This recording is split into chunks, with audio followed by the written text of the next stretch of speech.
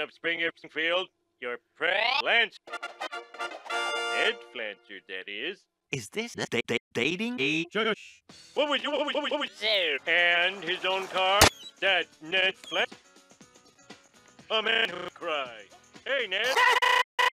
so that's why you.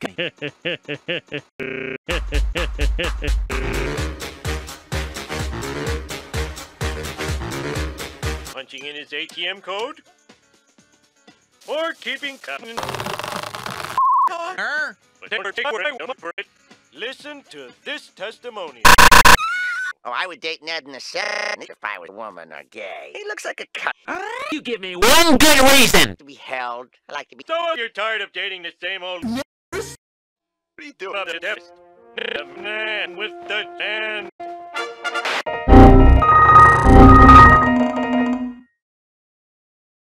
Black Lives Matter.